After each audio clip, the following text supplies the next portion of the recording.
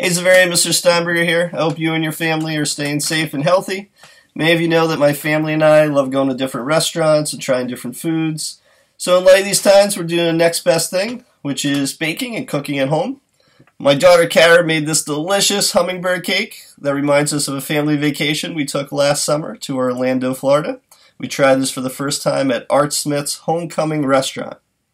I hope you and your family get a chance to make something delicious this week. If you do, please feel free to email me the recipe, and I will share the hummingbird recipe with you. Stay safe and healthy, Xaverian.